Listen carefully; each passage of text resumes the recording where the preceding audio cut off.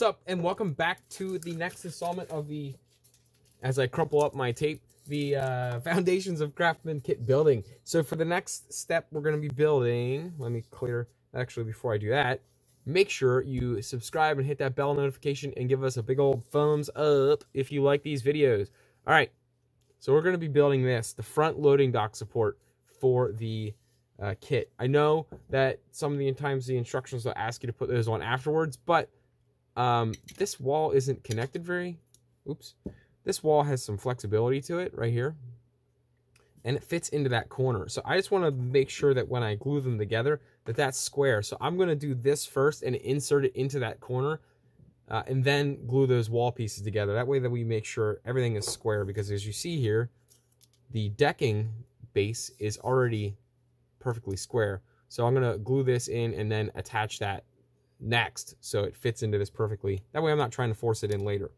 All right, so you're going to need the 1 16th square inch or the 1 16th posts, sorry, for this, as well as the um, 2x4 scale lumber. That is the brown ends and the ends that are painted green.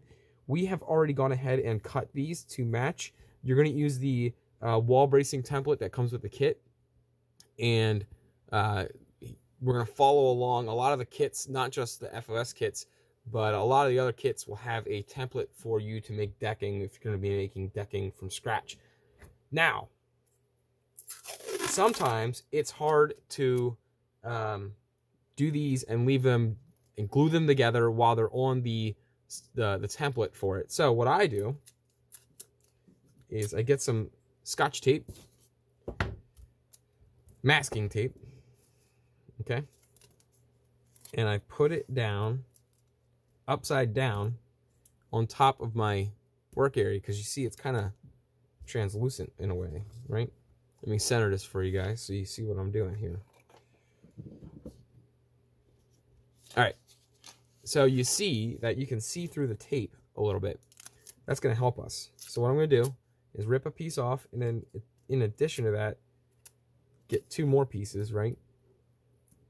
And we're gonna glue, glue. We're gonna tape the scotch tape, the masking tape down. Scotch is just the brand. Masking tape is the type of tape. So excuse me as I mess that up 10 more times this video. All right, we're gonna tape this down so I can have a flat sticky surface to glue my decking together with. Or dock, my dock supports. Okay. You just want to make sure it's nice and flat. There we go. All right. You got a nice flat surface with a sticky side up. And now it's almost like tracing paper. We can take our dock supports, our posts, our corner posts, and put them down. So now when we put the glue on and we um,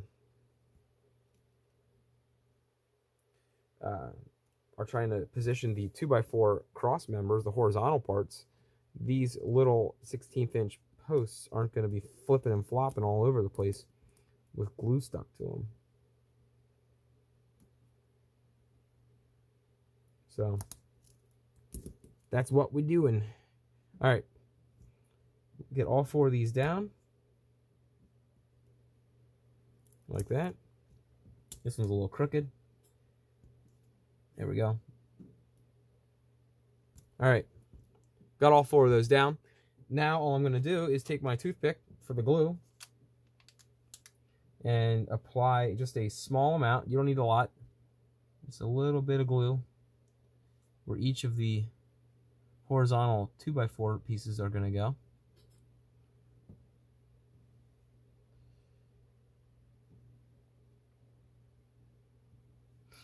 Okay got our first one. I think I cut this one a little too long, but it's okay. Once it dries, I'm going to just go back and trim that extra piece off at the end. Oh. This is my subscribe stickers making a, a warp underneath it. All right. Got the first rail down. And let's put our glue dot down for the second. It's right here. Okay. Do the same thing. Boom. We are done with that railing. So we're just to let this set and dry. And then if you ever have a kit that has more than one of these, you can just do the same thing over again. Um, once it's dry, you can gently peel this off the tape. And uh, I'll, I'll usually just take a little X-Acto blade and kind of pick at it and pop them off as it's going. And I don't ever have any issues with it because this, this tape is not too sticky where it's going to break the glue bond that's dried. So once this is dry, we're going to um, pick it up and then attach it to this as well as get the top decking applied to this. So that'll be the next video. Thanks guys.